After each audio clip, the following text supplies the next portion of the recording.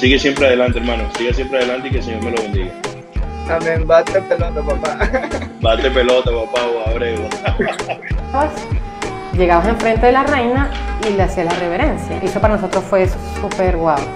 Ser parte de esta familia. Lo mejor. Lástima que no estamos todos juntos para hacer este video.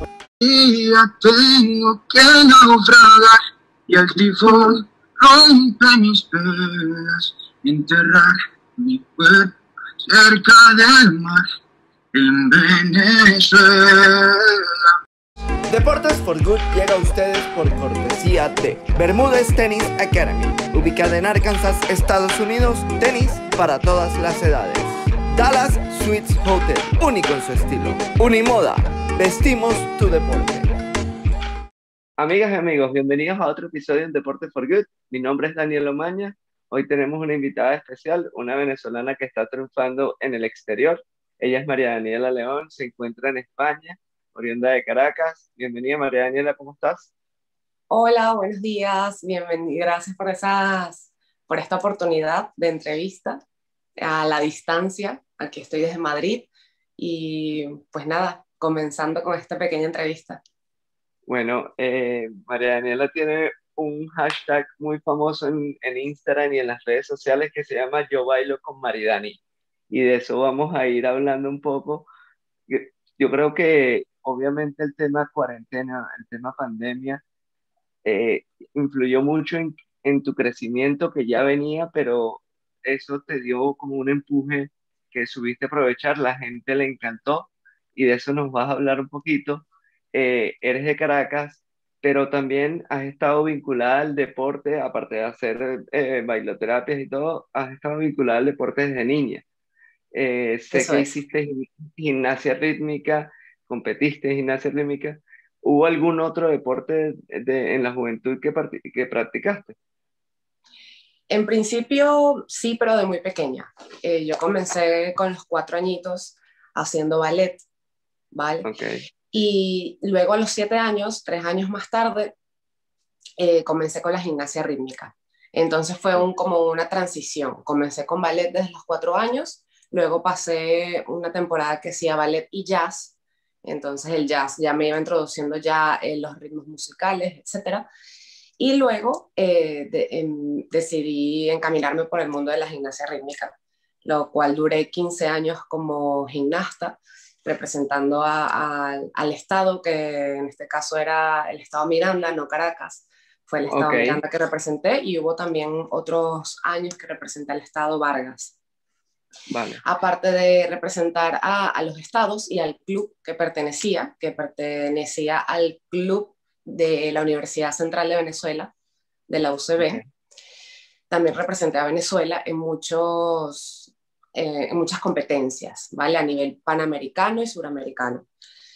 Y pues nada, eso era día tras día porque era selección de Venezuela, era selección de- del Estado, era un atleta de alto rendimiento, lo cual me formó eh, de una manera bastante disciplinada. Aparte que el deporte de gimnasia rítmica es un deporte eh, muy perfeccionista porque tienes que, que, que tener, hacer todos los elementos de manera perfecta. Yo supongo que todos vosotros saben cómo es la- el deporte de la gimnasia, que hay que hacerlo perfecto para sacar un 10 si, si recuerdan en las, en las películas, y también eh, fusionarlo con los ritmos musicales. En este caso se usaban bastantes ritmos eh, instrumentales, instrumentales, ritmos clásicos, entonces iba todo de la mano, desarrollando toda la parte de aptitudes, destrezas, habilidades, con la parte musical y sonora, coordinación, todo. Entonces Increíble. así comenzó mi, mi formación como, como deportista, atleta de alto rendimiento.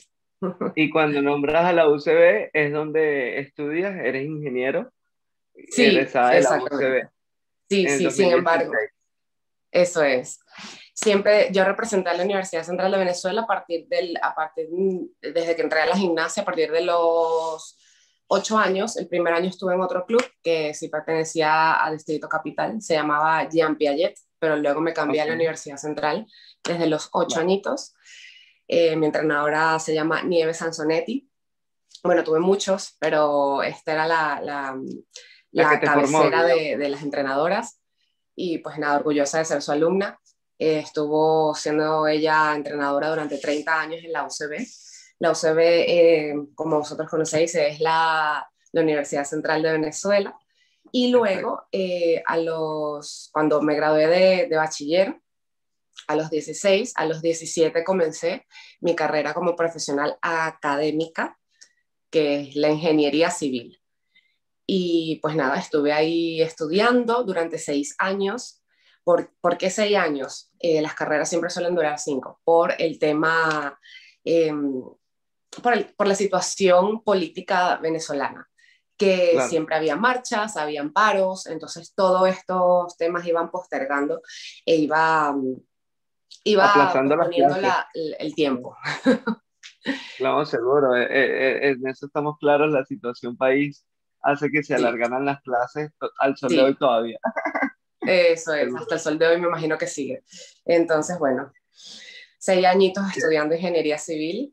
Eh, y, y, en la casa y, la gimnasia, y la gimnasia eh, la mantenías, tuviste, obviamente los estudios te, te empieza a quitar un poco de tiempo, ¿no? Pero sí. ¿cómo, ¿cómo hacías en ese, en ese tiempo? Sí, bueno, eh, te comento que al principio fue bastante rudo. Eh, los primeros dos años fue rudo porque lo tenía, lo, hacía las dos cosas a la vez. Y esto me frenaba bastante porque para mí en ese momento la prioridad era la gimnasia, porque yo era selección de Venezuela y era un atleta de alto rendimiento, como les estaba comentando. Selección de Venezuela porque iba a panamericanos y suramericanos, más no estaba interna en la selección. Y eh, eh, también, aparte de, de, ser atleta, era entrenadora. Fui entrenadora de gimnasia rítmica durante cinco años. Okay. Entonces, esa, esa mezcla entre, entre lo académico y, lo deport y, y el deporte fue bastante difícil, sin embargo, salí adelante. Y ya cuando cumplí los 21 años, decidí ya dejar la gimnasia rítmica. Fue en enero del 2020, 2012 que dejé la gimnasia para ya enfocarme en la parte académica. ¿vale? Okay. El, la carrera de gimnasia rítmica es una carrera muy corta eh, de edad, por ejemplo, por lo menos en, en América. Eh, bueno, ya a partir, a, ya si llegas a muy, muy lejos y eres interna de la selección nacional, ahí sí puedes durar más años. Pero bueno, ya yo tenía mis metas eh, trazadas que quería era, eh, ser ingeniero civil y por eso lo dejé aparte. La verdad fue una carrera deportiva muy, muy bonita. Fue el, la mejor, esa es una de mis pasiones, fue mi primera pasión. Y ya ahora la segunda es este emprendimiento que, que vamos a hablar más el adelante. Baile. El baile, seguro. Y sí. a veces no, no, no, te dan como ganas de volver a, inclusive hasta dar clases de gimnasia. Te, te pica un poquito el gusanito de querer volver. Sí, bueno, sin embargo, eh, cuando yo eh, emigré aquí a Madrid, a España, uno de mis primeros trabajos fue entrenadora de gimnasia rítmica en un colegio. Ah, okay. Pero duré pocos meses porque ya después encontré otro trabajo que era entrenadora de un gimnasio. Entonces okay. no podía compaginar ambas cosas. Ok, ok, entiendo. Y bueno, ahí oh. lo pude recordar un poco. Pero a partir de, de, ese, de ese momento no he, no he vuelto a, a trabajar okay. en ello. Sin embargo, cada vez que veo algo, veo un vídeo, veo mis fotos, etcétera, eh, lo recuerdo con muchísimo cariño. Seguro, sin duda alguna. Y, y ojo, también hay que recordar ahí un poquito que tuviste tu tiempo de modelaje un poco, porque fuiste reina del Club Táchira. ¿Sí, no? Sí, sí, sí. Yo estuve, participé en un certamen en el 2014 en el Club Táchira, de la cual yo era socia. Okay. Y bueno, fue una, una, época muy bonita. Siempre me, me, había llamado la atención este tipo de, de certámenes de belleza. Y bueno, surgió okay. la oportunidad. Entonces, en ese verano del 2014 estuve preparándome, conocí muchas personas, muchas hice muchas amistades buenas. Y en el día del concurso, pues eh, todo salió espectacular. Eh, siempre mis aptitudes eh, me han formado como una persona de, segura, de mí, de, segura de mí misma. Y pues nada, eh, ahí fui a tope y, y, quedé como la reina del Club Táchira. Y no, eso, eh, eso no te dieron ganas como de seguir esa carrera de modelaje o, o la gimnasia era, era lo, lo, primordial en tu vida en ese momento. No, en principio, eh, no, después de que fui reina del Glutáchira, sí ejercí como reina durante todos los años que, que estuve en Venezuela, que fue 2000, todo el 2015, 2000, el resto del 2014, 2015 y 2016. Ya en el 2017 fue que emigré, emigré primero a Estados Unidos. Y durante todo ese tiempo eh, ejercí como reina y pude aportar muchísimas cosas eh, al Club Táchira eh, en cuanto a mis conocimientos y aptitudes, porque cuando yo dejé la gimnasia rítmica, yo encontré enseguida algo que me motivó muchísimo, que fue eh, aerolatin. Aerolatin es un eh, es, aeróbic al ritmo latino. Entonces, es, una, es como si fuera bailoterapia, es como si fuera zumba, pero no lo es. Es para que más o menos me estén entendiendo. Entonces conocí al señor Aquiles Brito, que él continúa con su academia eh, que se llama Aerolatin, y yo me formé como instructora de baile en esta academia que le estoy comentando. En Miami. Que para mí, no, en, en Caracas. Yo en Caracas. sí, sí, yo dejé la gimnasia rítmica en el 2012 y ese, en enero del 2012 y ese mismo año conocí a Aquiles, Aquiles Brito porque como siempre me ha gustado el deporte, siempre me ha gustado el deporte, yo, yo iba a trotar, iba a hacer ejercicio, el clutáchira, iba a los próceres y en los próceres eh, vi la clase de aerolatin y yo me le acerqué, me gustó tanto, tanto, tanto que me la acerqué. Y yo le dije, ¿dónde das clases? Me gustaría, eh, eh, o sea, fue mi iniciativa. y a raíz de eso eh, me involucré con, con Aerolatin. Y allí me formé como instructora. Hay tres niveles, el nivel de primero que es monitor, luego instructor 1 y luego instructor 2. Yo completé los tres niveles, entonces soy certificada como Aerolatin, como instructora de baile. Y así fue que comenzó mis raíces de baile. luego, luego continúo con, con, con, lo que estaba diciendo del Club Táchira, que comenté que aporté muchas cosas y, en, y entre eso aporté que fuera eh, la Academia Aerolatin para el Club Táchira, tanto para jóvenes como para adultos.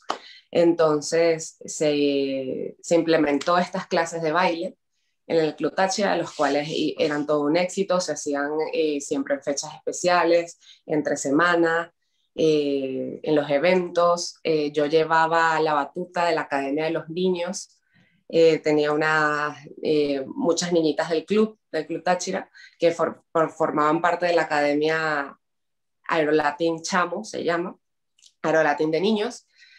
Y bueno, continué formando a personas, a niños pequeños en, en una actividad física. Antes era como entrenadora de gimnasia y luego continué, pero como profesora de baile, como instructora de baile. Qué y bueno. no, no, eh, y aparte te llevas todo eso cuando toca emigrar. Eh, primero nos, nos dices que estuviste en Miami. En Miami, ¿pudiste hacer algo con, relacionado con esto? En principio, eh, yo terminé de graduarme, eh, pude ejercer un poco como ingeniero eh, en el 2016, fue mi graduación, y ya en enero del 2017 emigré para Estados Unidos con el objetivo y meta de estudiar inglés, aprender, el, aprender el inglés. Y entonces estudié inglés, lo aprendí, hice un curso y sí tuve la oportunidad de hacer una clase presencial, pero solamente fue una, fue tipo evento, como las que hago ahora mismo aquí en Madrid, que lo hago esporádicamente. Hice una clase presencial de Aerolatin en ese momento en Miami y también tuve muy, muy buena receptividad, pero eh, como estuve nada más seis meses en Miami, porque luego me vine a, España, eh, no pude continuar con eso. Eh, en principio eso fue lo único que pude hacer de deporte allí. Aparte de, bueno, entrenar por, entrenar por aparte de, en el gimnasio. Mantenerte en forma, seguro. Sí. Exacto. Qué bueno. Y en Madrid ya nos habías comentado que eh, tuviste un par de trabajos de profesora también de gimnasia en, eh, en un colegio, etcétera. ¿Cómo empieza el dar clases de baile en Madrid? Vale. Yo luego de, de, dejar de dar clases de gimnasia rítmica a las pequeñas en un colegio, comencé en otro trabajo que era entrenadora de un gimnasio y era una entrenadora polivalente. Aquí se les llama eh, polivalente porque ah, eh, cuando realizas muchas cosas.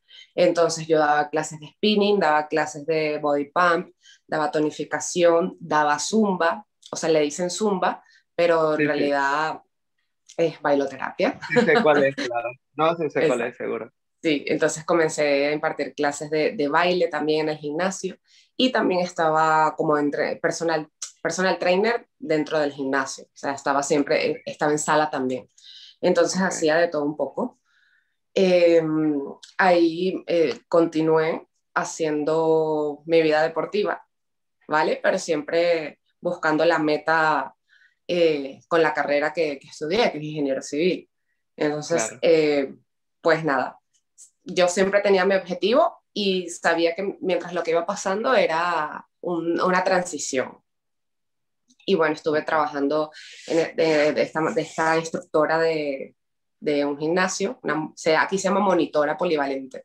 Estaba en monitora polival, polivalente en un gimnasio aquí en Madrid durante un año aproximadamente. Eh, ok.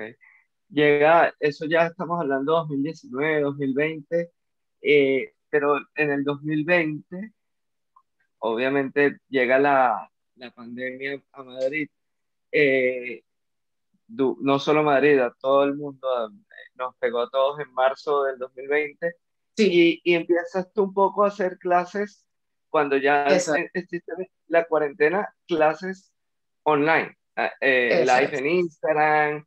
Eh, sí. ¿cómo, cómo, ¿Cómo se ocurre, cómo sale esa idea? Mucha gente, bueno, debo decirte que también este, este canal nació en pandemia.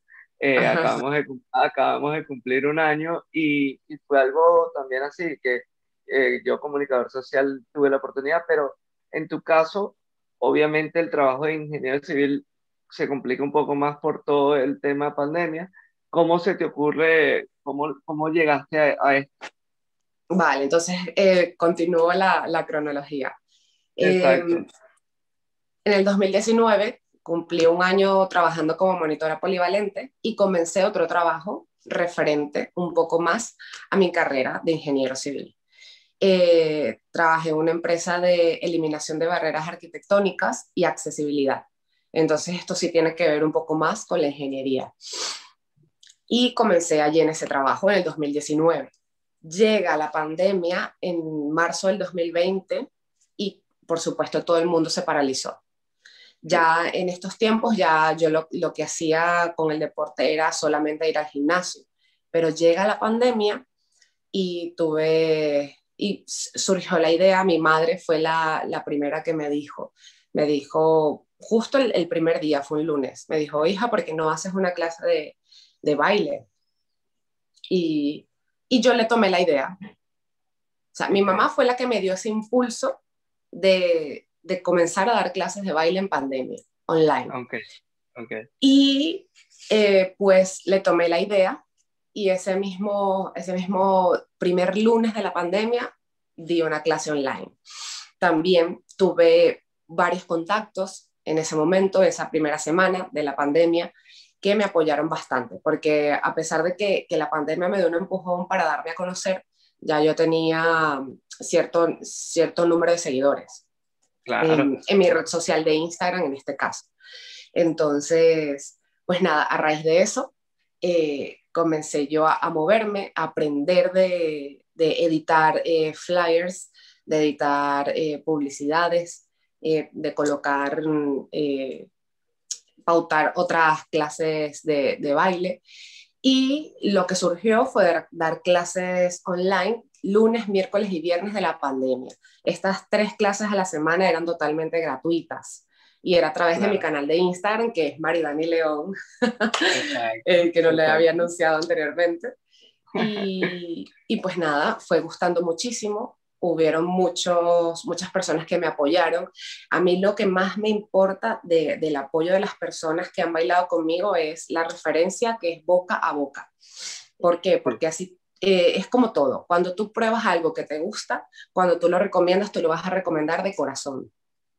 Y yo creo que eso fue la clave de, de, todo, a pesar de que hubo muchos, muchas personas influencers, influyentes en el medio de las redes sociales que me apoyaron, que también lo agradezco muchísimo porque me dieron también mucha visibilidad.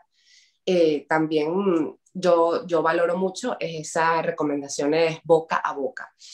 Y me imagino que así también has emprendido tú de, de, un boca a boca, que ha gustado muchísimo. Es cuando prueban algo, en este caso eh, mi producto, que es el baile, que les gustó a todas las personas que bailaron conmigo y me han recomendado. Ese apoyo, la verdad que fue un gran impulso para mí y para decir, eh, esto es lo que tengo que hacer porque esto es lo que a mí me, apasiona, lo que me gusta, a pesar de que soy ingeniero. Mi pasión está, eh, lo llevo en la sangre, que es el deporte, el baile en este caso. Entonces, pues nada, aquí estamos. Soy también, como, como he dicho anteriormente, una persona polivalente.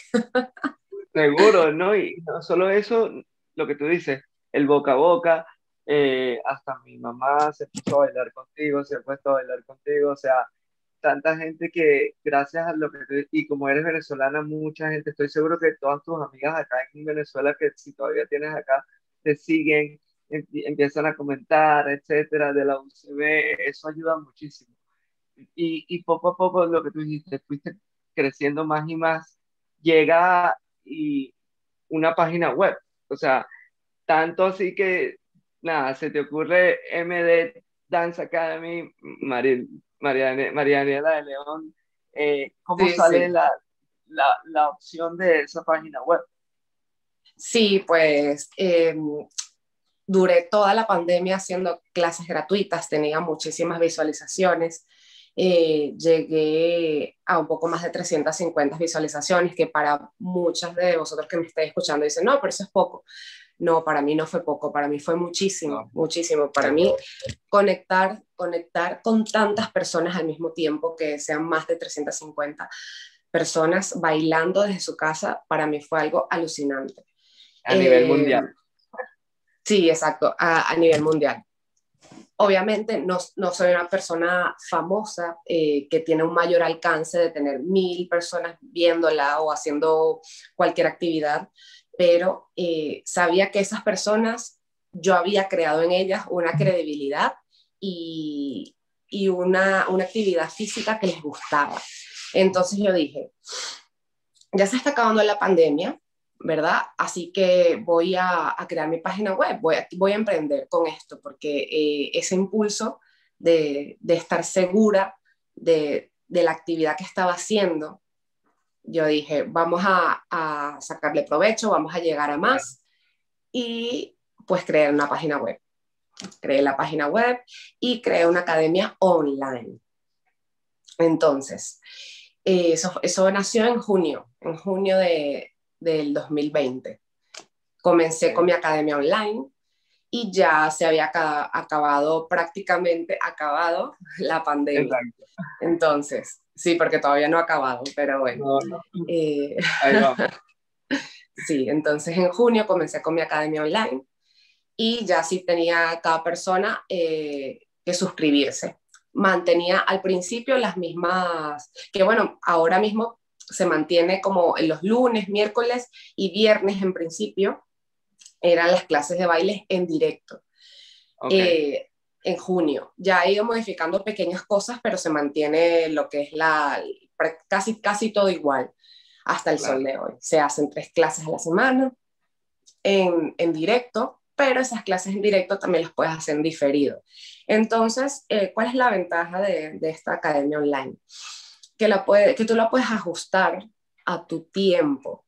Tú puedes incluir esta actividad física, eh, cardiovascular, deportiva, a, a, tu vida.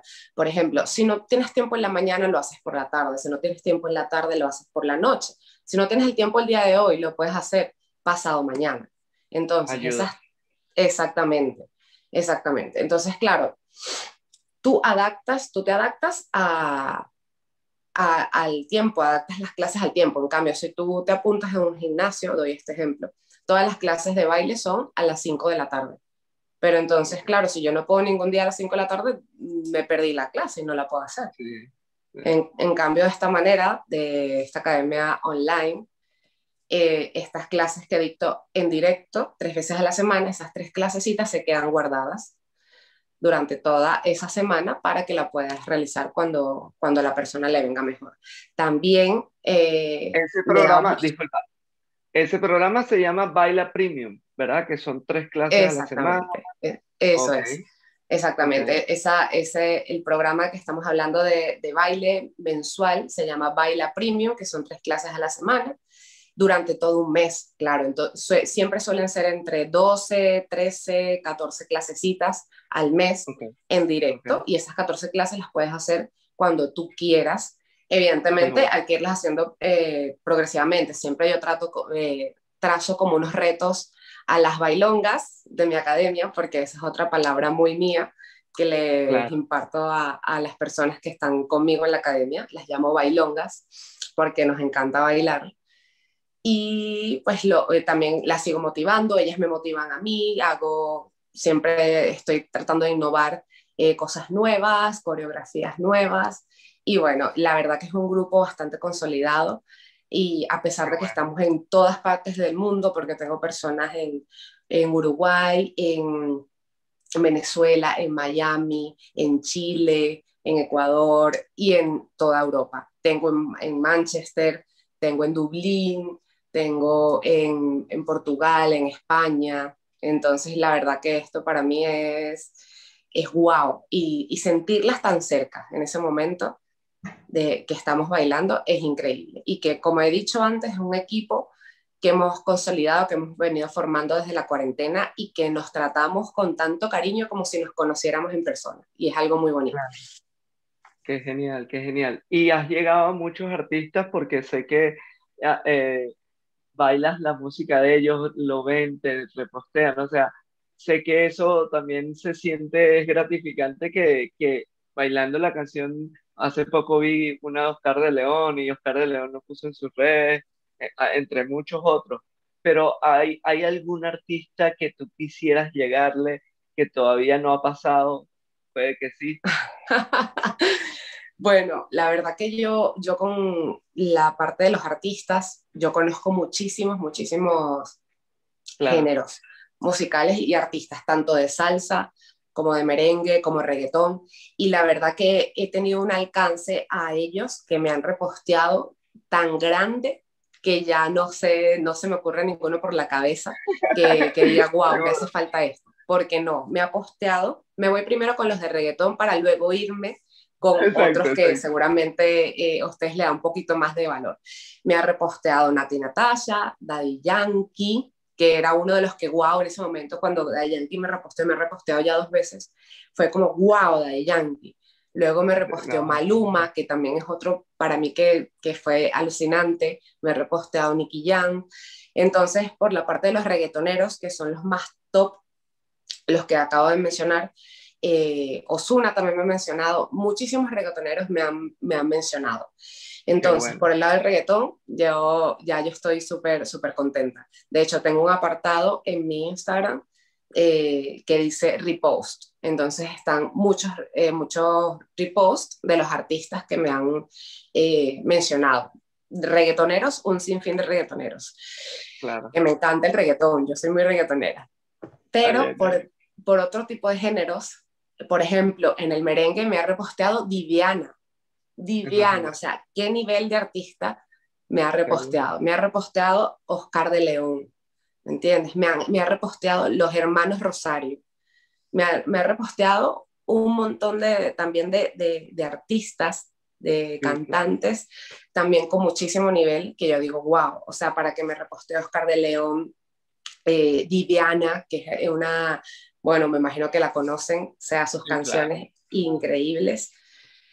Eh, los hermanos Rosario, que son que, eh, de, de, atrás, de tiempos de atrás, eh, es, es ya, ya digo, wow, o sea, ¿qué más puedo pedir? ¿Qué más puedo pedir? Entonces sí, hago, a veces hago challenge que, que hay por las redes, en TikTok sobre todo, a veces creo yo los challenge y, y, se, y se viralizan también. Y a veces simplemente bailo una canción, como por ejemplo, eh, antes de ayer que, que bailé la de Oscar de León, una canción de Oscar de León, y él me reposteó, pero yo la estaba bailando como a mi manera, a mi sazón, a mi ritmo, o sea, sin ningún tipo de, de challenge, por así decirlo, de coreografía. La coreografía, la, la, la, la improvisada que me salió en ese momento. Y esa fue la coreo que me reposteó Oscar de León. Entonces, Quien quita después te llame para que la- lo ayudes con el video musical. Ajá, yo espero. Yo espero. También me repostearon Nelson Arrieta, Ronald Borjas, que son eh, cantantes súper top también de salsa. Me ha reposteado Jorge Luis Chacín, que para mí es súper Ah, buen cantante. Me encantan sus canciones, las amo. Estoy hablando ya eh, de cantantes de, de otro tipo de géneros, no de reggaetón, sino de salsa, de No, merengue. claro. Y con los que tipo. Con los que nombraste como buen venezolana, eh, te gusta mucho Guaco, ¿no? Sí, Guaco también me ha reposteado, me ha reposteado también eh, Cuero Trancado, que es un, un grupo venezolano de tambores, o sea, pero, o sea, estoy hablando así de, de géneros diferentes para que noten la... Ajá, ¿Dónde has llegado? Qué bueno, qué para que bueno. exactamente. Bueno, y sigues creciendo, ya eh, cantidad de inscritos en la academia actualmente. Sí, claro, yo mensualmente, yo continúo mi Es academia mensual, online. ¿no? Ok. Eso ok. es, es mensual. La academia es mensual, eh, se comienza todos los primeros de mes, un nuevo mes. Y bueno, vamos mes a mes eh, atrayendo a más bailongas.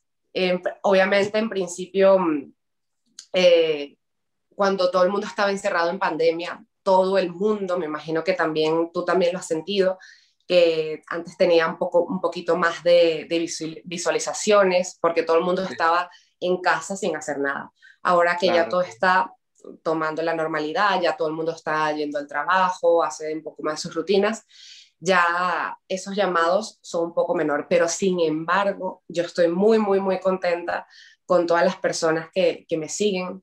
La verdad que siempre se los agradezco a todos esos bailongos que me siguen por mis redes sociales, porque cada vez que hago un llamado, su receptividad es estupenda.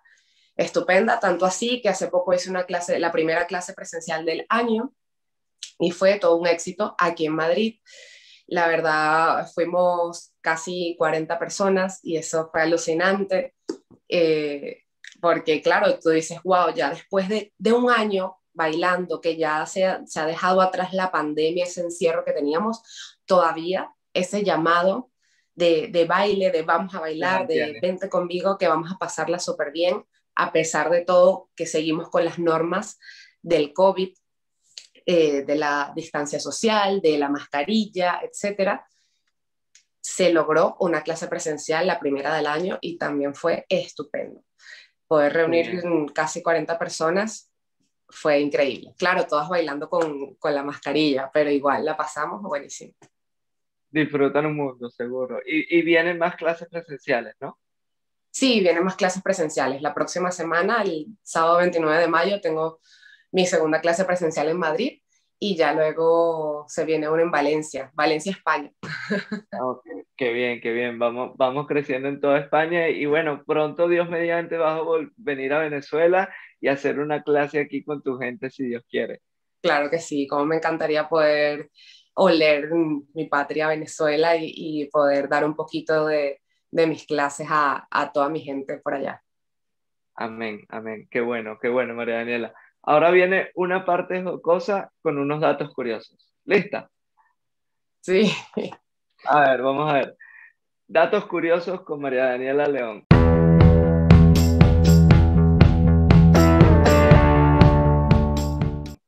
A ver, ¿cuál es el género que más te gusta bailar?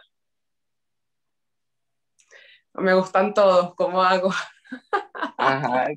Si tienes que elegir uno, Me gusta, me gusta la salsa. la salsa.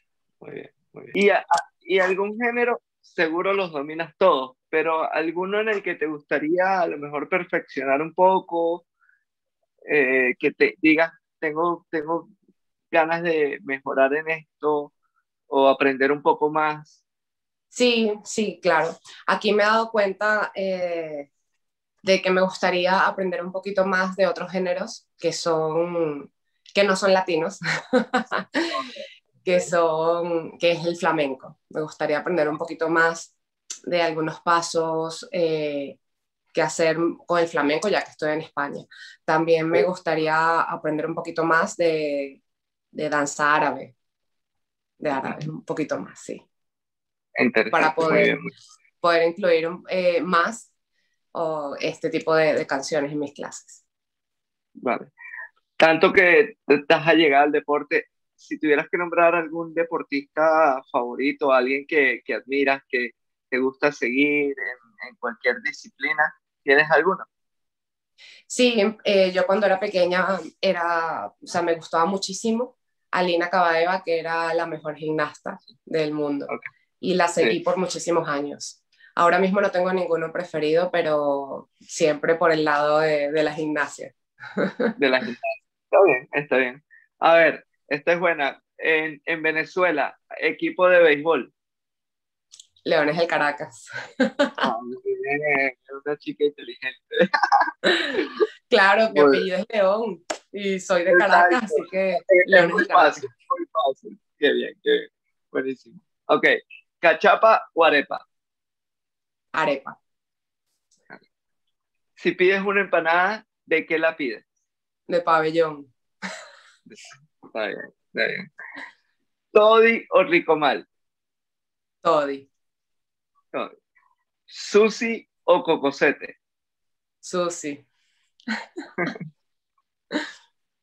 ¿Playa o montaña? Playa al mil por ciento. ¿Cuál? Los callos de Morrocoy. Muy bien. Calle sombrero, me encanta. y lo extraña, seguro. Seguro, seguro. Sí, lo extraño ah. muchísimo una persona que admires. ¿Qué qué? Una persona que admires. A mi mamá, como no admirarla. A mi madre. Mi mamá se llama Yuli, Yulicel Gómez. Un lugar favorito en el mundo. ¡Wow! Tengo tantos. Un lugar favorito en el mundo. Dime dos, pues, para, para ayudarte un poquito. Bueno, eh, me encantó ir a Menorca. Es, una isla aquí de las Baleares, Islas Baleares aquí en, España. Y Oporto, de Portugal.